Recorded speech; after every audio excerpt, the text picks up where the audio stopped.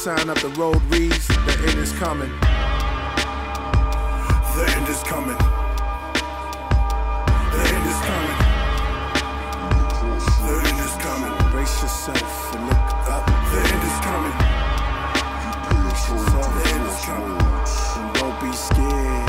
So that's the kind of question I was trying to ask you in the beginning, way back. Like what what type what That time it was, dominating what is- other women, because I've seen it before. I mean, but here's the thing. Um, like I told you before, us here, Right. we stand on the scriptural stance of Right. order. I'm gonna be honest with you. We believe in proper order. The man is the head of the woman. The woman is supposed to be in subjection to her husband. Simple and plain. we got okay. That's cool. But even with sisters that come into the camp, there's got to be order. We cannot have women just coming in and just whatever, whatever. There has to be some type of order. But there's with that, there's respect. There's love for our sisters, so on and so forth. So this is what we stand on. Do we believe in subject like straight dogging a sister out and woman get the hell out? You know, no, we don't get down like that. We believe in the order that's found in the scripture. In the Simple and plain. right. You know what I'm saying? Right. Now some of our brothers they be they bugged out, but see this is the thing. Bottom line, us waking up. That's how I tell people So this all you the seen it when you went to those different places? No, no. th- See that camp you talking about? They don't even really. They don't really They don't associate to that? to me. No, okay. they don't. They feel like they the ones with the truth. They don't. If you ain't dealing with them, then you ain't even in the truth. Right. Okay. You understand? But again, that issue is just not a. That issue is found in various places. But the thing is, us knowing that we Israel is only a portion of this battle. All right, walking this walk is the main portion. So when you read through the book of Acts, when you read through the book, period, you had portions of Israel that was righteous, and the Mhm. majority that was wicked as hell. Okay. So we can't like even today when you seeing brothers out there teaching all this madness and conducting themselves wicked as all outdoor. This is not new to Israel. This is what's our people have been dealing with for since we have been chosen. Wow. So we just have to understand that and make sure that we try we strive to be that righteous remnant. Right. Simple and plain. And pray for these brothers that they, you know, and, and bring the word out to them. You know what I'm saying? Don't be scared. Like some of these brothers out there teaching that madness, you got to bring it out to them if you really care. So let them know. We're gonna touch on a couple things that took place this week that uh showing us, man, why we need to focus on salvation. All right, so we all heard what Trump said the other day, right? About about uh the Haitians, our brothers, the Haitians, right? In the, the African countries, right? He said, he said, he said, uh, why is we giving protection to these uh whole countries? So he called the Haiti, the Haitians, the African nations, he called them shitholes. All right, so they nations is nothing, they worth nothing. This is what he said. He got caught in a briefing in the in, in the White House, and they leaked it on him. You know what I'm saying? Because not everything, everybody on, even his own party, like, damn man, we don't like them niggas, but damn, you too open with it. So they Yeah. so it says right here, right? It says Trump slams protections for immigrants from SHIT whole countries. Now, these Europeans are so prideful. This is why you know this is Babylon. He said he's gonna destroy the most proud. Why do I say that?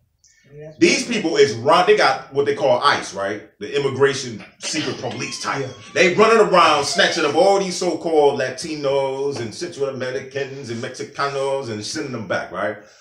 Now they move on to the Haitians and all this other. Now he talking about these different countries in Africa. Continuing now with our lead story, ICE raiding, targeting criminal, illegal aliens.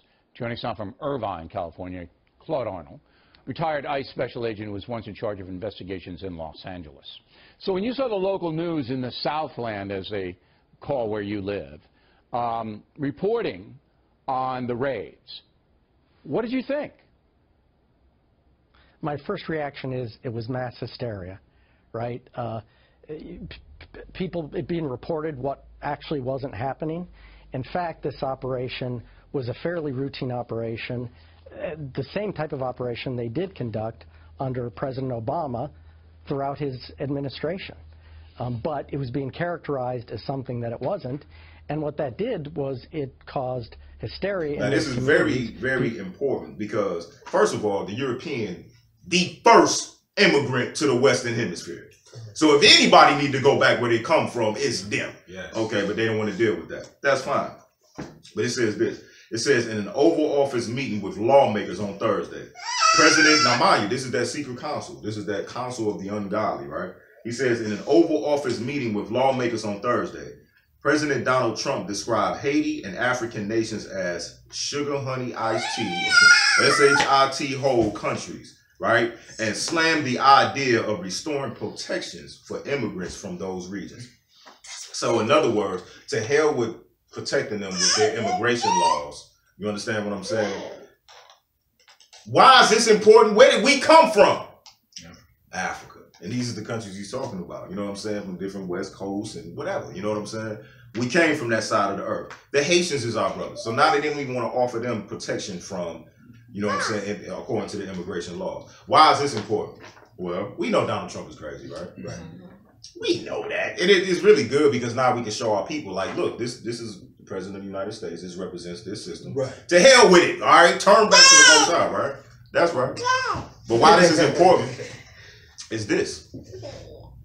On January the 8th, President Donald Trump signed HR 560, HR 1242, so on and so forth. Now, why is this important? This is why, you know, again, our people don't deal with politics and really pay attention to the laws that's going into place. Mm-hmm. What is this?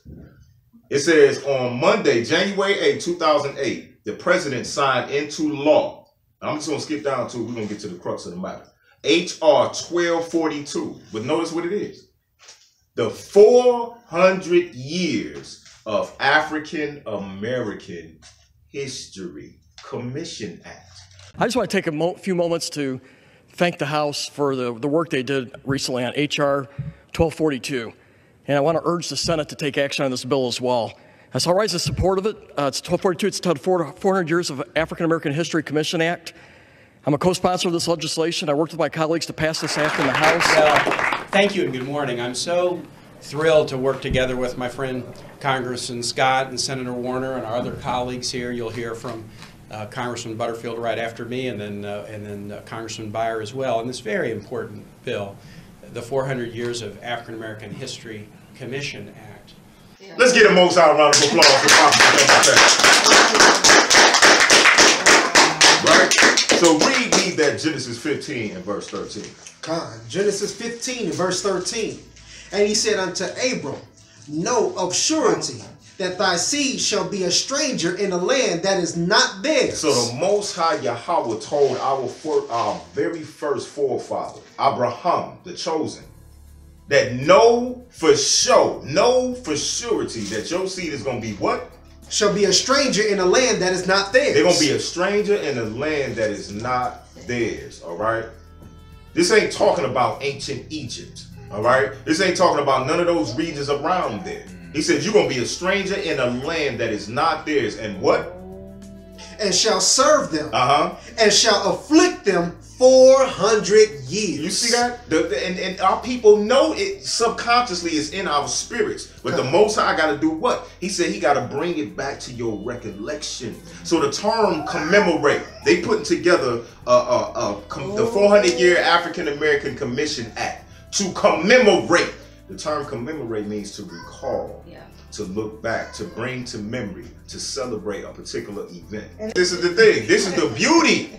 This is the beauty of it. This is how you know it ain't really them. The- It's the the spirit of the Most High that's moving because what? We towards the end.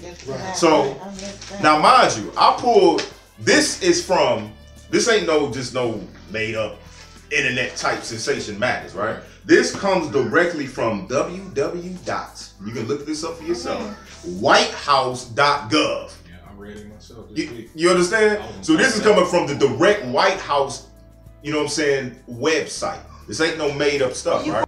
So this is the House of Representatives. This is going to go along with the 400 years of African American History Commission Act. This is uh, the House of Representatives 115 105. This is their report. All right. So it says the 400 Years of African American History Commission Act. All right. This is to accompany H.R. 1242. So we're going to read the purpose and summary. Again, this is all governmental, all on their websites, fully documented. Read that. The purpose of H.R. 1242 is to establish the 400 years of African American History Commission. See, notice that now this is their report. Now they they it's in law, but now they're giving you the report of what this commission act is for, right? Read. This is the background and need for legislation. Uh-huh. The first documented arrival of Africans to English colonies occurred in August 1619. Notice. Now I want you now, of course, a lot of our people, you know, that don't believe in the 400 years or just want to argue about the slavery thing in general say, well, we was coming in slavery before that. We was. That transatlantic slave trade was going on well before 1619. Right. But what was established, 1607, Jamestown was fully established. When they came over here and was fighting our brothers, the so-called Indians, they was catching the flux. They couldn't establish this place because they was constantly going through wars. But in 1607, it finally was put into play. 1619, it was fully chartered. The 13 colonies was fully set up by the queen. It's fully functioning. And now they start to bring us in through their corporate system under their slavery. So as a nation, they was established fully 1619. It was bringing us in through the 13 colonies. All right. So that's just the basic understanding of the history, right? So read. When a group of approximately 20 individuals disembarked from a sh- from a ship at Point Comfort, Virginia. Uh-huh. Since slavery was not institutionalized at that point, the individuals were sold as involuntary labor or indentured servants. So when we first came over here, you know what I'm saying? Of course, they was snatching a lot of us up, but a lot of our people was thinking, oh, I'm just gonna go over here and work, you know what I'm saying, my little seven years according to the, you know what I'm saying, and I'm gonna be all right. yeah, well- Even the, you know, a lot of people try to make the argument that, well, the Irish were slaves and this, that. No, they came as indentured servants. Okay. So they would contract to come over here and would start to work this new land. You understand what I'm saying? And after that seven years or whatever the contract was, they would be free. That's what happened with the Irish that was over here, that was so-called slave. They was really indentured servants, but they got free. Not us. We went into straight up chattel slavery. You understand? Read. and told they will work under contract for a certain period of time before being granted freedom and the rights of other settlers. Uh-huh. The most marked of this moment marked as a painful but uh, significant time in colonial America when Africans were uh, taken against their will, transplanted, and committed to to lives of slavery. You see that? So it wasn't Africans. It was actually Israelites that were us that was dwelling on that continent of so-called Africa. You understand? So read on. August 2019 will mark 400 years since that initial entrance in uh, the initial entrance to the colonies. HR 1242 establishes the 400 years of African American History Commission. So this is why this is so important. This is why I kept mentioning keep salvation in the forefront of your mind, okay? Because again, are we saying the Mashiach is coming back after? No, we're not saying it. But what we are pointing out is there's certain prophecies that's put in play that are starting to come to pass, that's getting ready to lead us into the wilderness, that's getting ready to lead you into to Israel going home. So when at, at that point, when we go through that 400 year, by the time 2020 is starting to roll around, now you want to start looking. Now you want to start paying attention. So this is why I'm mentioning, you know, we, we want to focus on salvation. Now is not the time for you to play around with this truth. Now is the time for you to seek the Most High's face. Because two years go by like that. You understand what I'm saying? Why are you saying two years? If it's August the nineteenth. A year and a half. Because I mean, realistically, when you look at it, if August 20th of 1619 began, you know what I'm saying? It began the first August 20th of 1619 began the first year. All right, you really have to count it just like how a baby would be born. When a baby is born, you're born like for example, my birthday is so-called January 16, 1981. I went through that whole year when January 16, 1982 came. How old was I? One. I was one year. You understand what I'm saying? So when you count that, really, that 400 year is gonna, you know what I'm saying, really mm-hmm. commence going into the 1619. After that, Oh, you see what I'm saying? So just looking at it from that perspective. So again, you ain't got much time. It's not time for you to be playing around. And there's no coincidence that they chose 400 years for this particular captivity. There's no coincidence. But let's finish that out. Develop and carry out activities throughout the United States to commemorate the arrival of Africans. The Commission will also celebrate the contributions African Americans have made since 1619, despite the debilitating effects of slavery and racial discrimination. You see that? So in all reality, they about to just put on display everything that we have dealt with from being, like I said, transplanted from one place of the earth to the next, and having to deal with this destruction of our people in this captivity. Now that's funny because the so-called Democrats back in slavery times was who?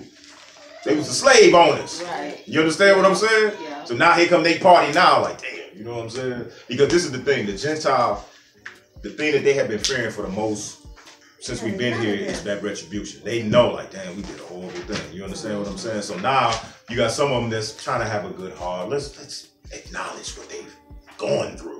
Uh, the 400 Years of African American History Commission Act, H.R. 1242, was referred to the Committee on Oversight and Government Reform. The committee considered H.R. 1242 as a business meeting on March 28, 2017. Stop. Uh, let's stop right there. Now this is this this thing. Now you want to know where it come up. It started back then. So That's they were getting together having this conversation, but this was a business meeting. Uh, So I, I want you to really think about that. Now we gotta really think about this. think about the, the dynamics of what's going on here. You got Trump who is nothing but business. You understand what I'm saying? And then they sitting having this business meeting and then they bring up what 400. What's the odds? You know why? I'm, I'm just gonna keep it real. I can surmise what's really going on here. Yeah. What you think? We are their property. Where they're properly and what's getting ready to happen. Yeah. Them niggas about to get free. Yeah, so we need to bring like they doing everybody else, kick everybody else out, make it make you it, a normal to see people getting kicked out, Right. and then uh, give them their accomplishments, and then y'all go too. It's some sinister stuff going on behind the scenes with this joint. But it's all good because it's really going to benefit us, right? Read? Ordered the bill reported favorable without amendment by voice vote. So they all voted on it, right? Read? Right. In the 114th Congress, Representative Scott introduced H.R. 4539, Uh-huh. the 400 Years of African American History Commission Act, on February 11, 2016. Uh-huh. H.R. 4539 was referred to the Committee on Oversight and Government Reform. Uh-huh. On July 5th, 2016, the bill had the bill as amended passed the House under suspicion by vote by voice vote. This is why Trump signed it because it went on ahead and passed through everybody. Okay, that's cool. And they signed it into law. and highlight the resilience and contributions of African Americans since 1619. Since when? 1619. I noticed that. So now they're getting ready to across this country. They put they about to put funds into different places with nonprofits and so on and so forth to educate, to, to for celebrations and all these different things about our sojourning from 1619 to 2019. What's the odds? There is no odds. This is coming directly from the Most High. But what is what this is going to do?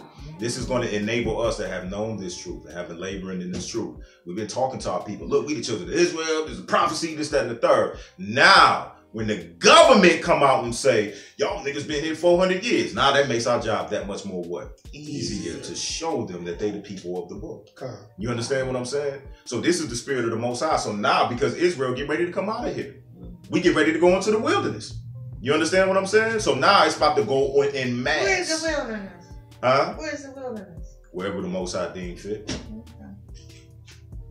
But it's, it can't. It ain't nowhere over here because Babylon gonna be destroyed. Come. So we gonna get us out of here. We're gonna be headed towards. I'll say that. to We're gonna be headed east. Open up the Atlantic oh, Ocean. We're going You gonna get us out of here one way or another. drove You understand? We uh, came here by ship. You Airplanes. said you was Do- gonna. Somebody said airplanes. I mean, I- you know. Eagles was that. Good. We gonna we getting out of here one way or another. The, the fact of the matter is, we need to focus on what Salvation. salvation, so you can be counted worthy. Right. Because if not, you're gonna die right here. It's gonna write you right here in these tombs.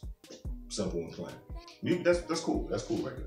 Matter of fact, um, Is yeah, yeah, read that. Yeah, read that. Read that. Okay. Subparagraph C of paragraph 1 notes the commission is to acknowledge the impact that slavery and the laws that enforce racial discrimination had on the United States. Uh-huh. Paragraph D Wait a minute, John. the commission with educating the public about the arrival of Africans in To- the hold on. To do what? Educate the what?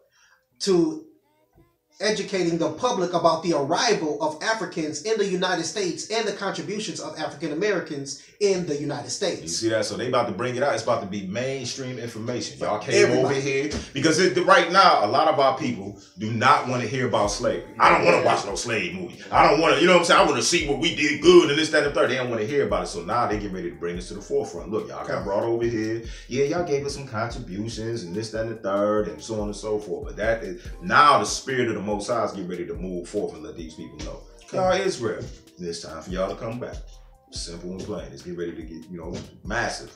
Right? Finish that up. Paragraph 2 the, of subsection C notes that the commission is to encourage civic, patriotic, historical, educational, artistic, religious, economic, and other organizations throughout the United States to organize, to organize and participate in anniversary activities to expand understanding and appreciation of the significance of the arrival of Africans in the United States. Of the what? Of the significance of the arrival of the Africans in the United States. Notice that, so they know it was it's something significant about these these particular niggas coming over here as slaves. You understand what I'm saying? Because they understand. Okay, we got them people with a book. God. And no matter what we've done through our laws, our false history, like you said, robbing them of all their inventions, so on and so forth, we can't keep them down. They still here. You understand? They still here it's by the spirit of Yahweh. You understand? So again, focus on salvation. Read that Genesis 15, 13 again, down to the 14th verse. Genesis chapter 15, verse 13. And he said unto Abram, Know of a surety. Know for sure, as we say today, right? You know? Know of a surety that thy seed shall be a stranger in a land that is not theirs. Uh-huh. And shall serve them, and they shall afflict them 400 years. And that's what we've been dealing with. Since we stepped off of those ships in Jamestown, Virginia in 1619, it was spread from the north to the south, all the way to the west. Working as these people's servants, we have suffered nothing but affliction. Don't let nobody tell you different. My son just told me that he was in school. He got another Israelite, uh, fellow Israelite student. They sitting there, students talking about, oh, we ain't in slavery no more. Yes, you are. There is no difference. And okay, yeah, you might not have a physical yoke on your neck, but what do you got to do? You got to work every day. You understand what I'm saying? Just to make ends meet. You are paying taxes to a people. You subject to somebody else's government. You we speak in English instead of Hebrew. You understand what I'm saying? You got to read all these different labels on all these different food products we buy.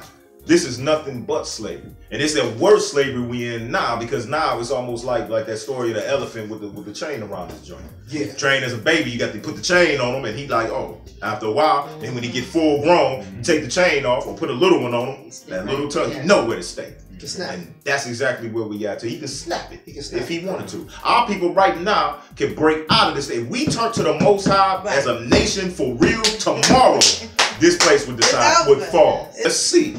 Now they get ready to try to commemorate this 400 years. But these, people behind the scenes, they know our time is up. You know what I'm saying? This empire finna get, get ready to be destroyed. All right, read read the 14th verse. This is what our people got to look forward to. Verse 14. And also that nation whom they shall serve will I judge. That will what? Will I judge. So that nation that that said that nation. So a lot of our people, oh, well, you know, that 400 years was Egypt. This it wasn't Egypt. And we, what we're gonna do probably, uh, probably go through it next week. I'm, I'm gonna go through and I'm gonna show. We're gonna show and prove that that 400 years was not recorded in our biblical script. That it was a future prophecy, and it's easy to show. We'll go through that record and show that. You understand what I'm saying? But he said that nation, singular. That's single, right? That ain't the whole world. So that's not talk. Israel went to the four corners of the earth, right? In all countries. Yeah. So this 400 years is talking about one particular nation that's pointed out. You know what I'm saying? Babel, daughter of Babel. The daughter of Babel, absolutely. He said that nation I will do what? I will judge. Uh-huh. And afterwards shall they come out with great substance. You see that? So Most High gonna judge and we coming out with great substance. You know, and one of the main substances that we coming out is what? Knowing who we are, knowing who our power is, knowing how to serve him. You understand? And eventually we taking all the riches of these Gentiles. You understand what I'm saying? Let's close it out with the book of Baruch, chapter 2, verse 34. So this is why I was saying earlier, constantly put that term salvation in the center of your mind. Baruch 2 and 31. And shall know that I am the Most High, their power. For I will give them an heart and ears to hear. And this is what the Most High is doing with us. This is why we know who we are. This is why we know the Most High. He's giving us ears to hear, you know, and a heart to seek Him. You understand? And they, sh- and they shall praise me in the land of their captivity. They shall do what? And they shall praise me in the land of their captivity. And do what? And think upon my name. See that? And that's what we're doing every day. And even more as they these days go, come in and go out. Praise you, Yahweh. Bahasham Hamashiach Yahweh Shah. Because the Most High is worthy to be praised, like we read in Psalms 18. And look at what we got before us. Our redemption coming, y'all. Think about that. Hallelujah. You know what I'm saying? this place almost Hallelujah. finished, man. Like, this, I mean, for real, when I seen that, I was excited. But at the same time, it's like, wow. You know what I'm saying? Like, okay, no more slip ups, brother. Get it together, right? Read. and return from their stiff neck. And that's what we got to do. Your neck stiff, unstiffen it. Right? Get it right. Read. and from their wicked deeds. Uh-huh. For they shall remember the way of their fathers. We got any wicked deeds, any wickedness in your heart, man? Rebuke it, man. When you read about your wicked forefathers, look at where they messed up and don't do it. Follow the footsteps of your righteous forefathers, right? Read. Uh-huh. which sinned before the Most High. Which did what? Which sinned before the Most High. The book of Amos, we read Amos 9 and 10 said what? He gonna kill all the sinners with the swords of his people. He ain't playing, right? Read. And I will bring them again into the land which I promised with an oath unto their fathers, Abraham, Isaac, and Jacob, and they shall be masters over it. And they shall be what? Masters of You it. say you see that? He said he gonna bring us back into our land that he promised to our forefathers, and we gonna be lords of it. Right now, Donald Trump, the so-called Jew, Ishmael, Moab, Ammon, all these other nations over there is masters of our land. Uh-huh. Parting it up. Oh, well, you take this. You Yeah, take the yeah. Gaza Strip. You take the Golan Heights. And all this other madness. Well, I'm gonna make Jerusalem the capital of the so-called Jew, and I'm gonna you move the United States embassy there. Gosh. This is what these people have done. Listen, they top rabbis know that they ain't the people of the book, and then they see what's going on around them. They know that okay, the damn these goddamn Ishmaelites, Iran, They do know. everybody, they everybody want a piece of them because they know okay, these y'all ain't the ones. Look, we the most surprised by this information. Man, what? Exactly. We are the most You see the surprised. Chinese The rest of the, the rest of the people are not surprised about this information. Everybody else know. The so-called talking about the so-called Chinese claiming to be Manasseh and all this Yeah. other. Get the heck out of here. Now I'm not gonna lie to you. We got people that's in China, different portions of that region. We know that. But then you see them people coming here. Oh, I've seen that video years ago. Out, Oh, oh you've seen it before? Get out of here. You know what I'm saying? But it's all good. He said that we gonna be lords of our land, right? Read. And I will increase them, Uh-huh. and I will make an everlasting covenant with them to be their power, Uh-huh. and they shall be my people. And I will what? And I will no more drive my people of Israel out of the land that I have given them. And that's a future tense right there. You know what I'm saying? Hallelujah. Y'all, man. Get the most high Yahweh a round of applause, man. On the real, man. Keep salvation at the forefront of your mind because redemption of Yasha Allah, aka Israel, is drawing near. Either you're gonna do right and make it out of here, or you're gonna die right here in this Yah forsaken place. We gotta keep this law, man. We gotta stop stop compromising this law.